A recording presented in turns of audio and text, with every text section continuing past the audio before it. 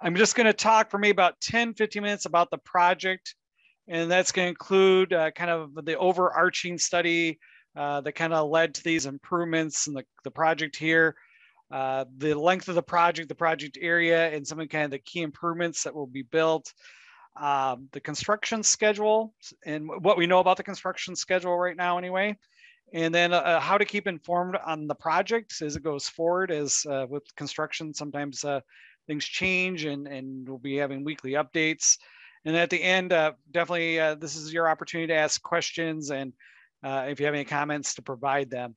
Uh, two ways of doing the questions and comments. You can at the bottom, at least on my screen, it's at the bottom, you can go to the chat and uh, put in your question or comment there. Or if you'd like to speak, uh, please raise your hand and Jono will unmute you to let you ask your questions. So uh, appreciate uh, your time here uh, as we talk about the project here. So uh, just again, um, the people that, that are here from the project team are myself, uh, Luke Lordy, he's the construction engineer for Ramsey County. So thanks Luke for being here today. And uh, Jono, who's been working with several folks on the Ramsey County team to engage the public and put together some information and making sure we're keeping up with the project.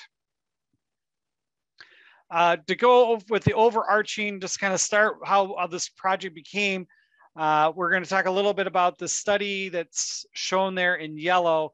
And it really was around Rosedale Center, uh, included County Road B2 from Fairview over to Snelling. And then it also included Fairview to the south of County Road B2 uh, down to County Road B. And so there's a bigger, larger traffic study that looked at that area and these roadways. Um, and maybe the next slide, Jono, please. And, and really kind of the purpose of that project was uh, the city, the county, and MnDOT had projects going on, uh, each of those roadways. So we're doing kind of a coordination effort. And, and, another thing was that the Rosedale Center came in with expansion plans and you know that included some redevelopment or additional development within that site. Also, they discussed and uh, they've been implementing the the conversion of that one-way roadway system within Rosedale Center to a two-way. So with, with those changes uh, in these projects, the, uh, the partners here decided they would like to do a traffic study and understand how uh, travel patterns might change and how that might impact uh, the roadway and the intersections and the traffic signals. And, and I think another major uh, point when we were looking at the corridor and, and we had some experts walk uh, these corridors to really understand uh, kind of the pedestrian and walking along the corridors. So there was a lot of time thought how that may, may be improved and kind of going along with the, the Ramsey County All Abilities Network. So those are kind of the things that kind of went into this study and those outcomes from that study and, and the report will be online on the county's uh, webpage uh, was this County Road B2 project that we'll talk about further uh, but to let you guys know, there will be another project that's along Fairview, uh, just south of County Road B2 through uh, the Trunk Highway 36 interchange. And that was actually scheduled uh, for this spring, summer, fall construction, but it got moved back uh, to 2023. And there's a link there on the bottom of the slide on where you can get updates on that project if you're interested. So let's talk about the, the County Road B2 project that's under construction. Um, here, the red line describes the, the project area. So we're going from uh, the west side here, Fairview Avenue, uh, through Snelling and over to Hamline Avenue. Uh, what we're going to be doing is also along with the roadway, there's sidewalk construction. There's some missing pieces of sidewalk. Uh, that's represented by that dash line. So we're putting a piece of sidewalk that's missing uh, on the north side of County Road B2 by Snelling. And there's actually then a little, it probably can't see it on the map. There's a little bit of uh, missing sidewalk there along Fairview Avenue, uh, just in that northwest quadrant along the north side there. So there's uh, getting sidewalk replaced. The other thing that will be happening is there's four traffic signals that will be uh, replaced. So they'll be removed and there'll be new traffic signals. Uh, those are at Fairview, as you see there. Then the next one to the east, which is uh, right by the Portillos and Wells Fargo. Uh, then the other one is uh, the third one over is at Rosedale Commons.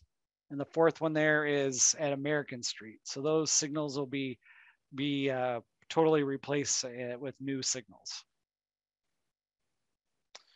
This is just kind of a little bit to, to remind if I missed anything here about what's going on, I may give you a little bit more detail. So that red line uh, that we showed with the construction limits, what we'll be doing is really, it's a, a roadway resurfacing. What they'll go out there and do is mill off the existing uh, poor pieces of pavement and it'll get a new uh, surface.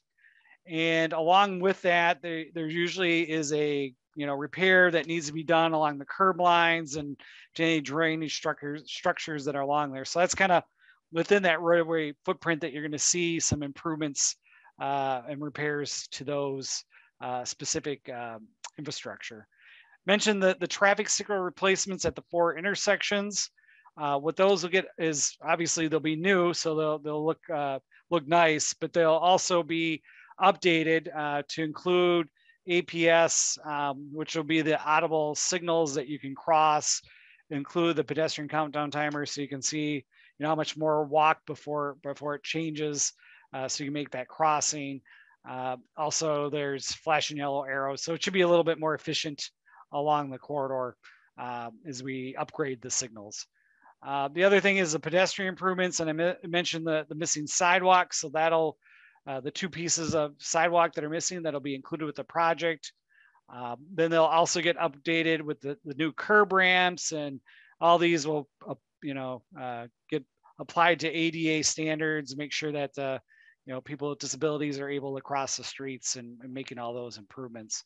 Uh, one of the one of the main changes that you'll see from a roadway perspective is besides looking nicer and, and getting the pavement replaced, um, is that we are doing some stuff at County Road B2 and Fairview Avenue. Uh, we're moving up Pork Chop Island and I have a, a, better drawing that I'll show you. I think it's on the next slide.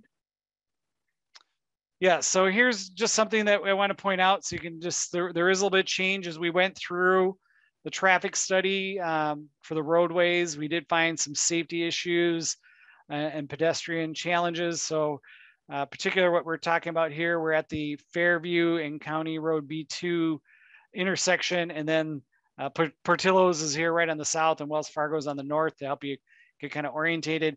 Uh, today, we would add that northbound uh, right turn as this, what we'll call a free right, Pork Chop Island. And as you come around that corner, a majority of those people are not interested in staying in that lane and have to change lanes. And then you have a release of people going kind of row B2 that might be going to the mall. And we have this short little weave. And as we looked at safety in the area, there was, there was a, a crash problem. Uh, also, it was a, a, challenge for the pedestrians to cross here, cross that island as, as vehicles are traveling pretty fast. And, and those drivers, a lot of times, are trying to look in gaps in traffic coming around County Road B2. So kind of what's going on in the existing. So what we're proposing here or what's going to get built as part of the project is to remove that, that free ride island and replace it with right turn lanes and uh, having a better uh, pedestrian environment and a safer uh, movement of traffic. The construction schedule. So I'll give you a little bit more detail as we as we find out more. Um, but right now we we kind of had originally here that uh, construction begin in mid-August you're going to see probably a lot more of the work probably being done in September and October, and then completion will be done by mid-November. And we're it's uh, written into the contract that we need to get this done before uh, you know all the the holiday season and and all all that. And the contractor obviously knows that as well. Uh, as we've kind of went forward, we know a little bit more details. We know that uh, uh, the county and city will be meeting with the contractor to have a pre-construction meeting here on August 11th. So at that point in time, it's when they learn more information about the project and kind of figure out what's going. Um, one of the kind of important scheduling items for the contractors when they get the uh, the uh, signal poles, the traffic signal poles, and uh, those are usually take a while. And the county is thinking ahead, so they did order the poles, but they're probably not going to arrive arrive till early September. So uh, there might be some minor work here before early September, but really there won't be probably a lot to be noticed until they probably get into doing the traffic signal work here, probably starting early mid-September. Um, and then I think uh, as we kind of talked, there'll probably be a real heavy time for about two weeks where that milling and overlaying, taking off that old surface of the pavement and putting the new pavement that'll be that'll be very busy. and then uh, and that'll probably be sometime in October, and then there'll be some minor work and restoration and cleanup that'll probably be as we get towards the end of the contract. And you know, just kind of cover some of the activities that go on during the construction. Uh, access properties will be maintained throughout the construction. We're not planning that there'll be any uh, uh, blockage of any access, but but we do know there'll be short durations where there'll be limited access. We know as the, you know, as they're probably working the signals, there may be some times where we won't be able to get into the, you know, use a certain access when the milling machine goes by uh, certain driveways or, or signals or intersections. There may be times, but it should be short short delays or short durations if there are going to be longer durations, you know, the contractor or the county will let those who are businesses or or residents uh, know that there's going to be some impacts or when that'll occur so we can work through that. Uh, there won't be any uh, detours or clo- you know permanent closures. We plan on keeping the road open the best we can, uh, even though we know there'll be times there'll probably be one lane in each direction. Um, when we get to the County Road B2 and Fairview intersection, that's a very busy intersection in both directions. Uh, so when the signal is going down and getting replaced by the new signal, there'll actually be a temporary signal uh, that will be there. So there will always be, well, the majority of the time or always there'll be a signal here at that major intersection uh, to help control traffic. Um, so then at those three other main intersections that we talked about, they're along County Road B2, um, when they are going through their change, um, they will be always stopped, but not all three will be out at the same time. There'll probably be one and no more, and not adjacent to each other at a time. So we'll be able to keep access, you know, try to do our best to keep access uh, along the corridor uh, via a signal of some sort. Um, you know, I, but it will be a busy place. So we, we would advise that, you know, people find alternative routes that aren't destined uh, for the corridor, at least uh, during these heavy times of construction. I think one of the important things, because uh, we know that the construction schedule, you know, can change, weather can change, and and so keeping informed on the process of the project is important. Um, and again, if uh, access needs to be restricted, the contractor the county will let you get any property owners along the corridor know in advance, so you're aware of it. Uh, there will be some on-site message boards that will make people aware of the construction and when it's actually beginning. And probably some of the best ways to keep in, up to date is uh, via the website uh, that's listed here. And what you can do, and I actually do this. I did this for my mom because she had a project in uh, near her in Shoreview, uh, and I clicked to, to subscribe to the roadway project. So you go to the website. There's a spot you can click on that, and that'll give you updates um, and when I've talked to Luke, we, you know, we just, well, they will, there'll be construction meetings every week. And that information uh, that they get out of those construction meetings will be uh, forwarded to the, you know, put on the, the uh, website so people know what's going on. Um, and, you know, if you happen to live along the corridor and you got any questions, feel free to ask the contractor or anybody from the con in the county to get some updates if you're you need to know anything.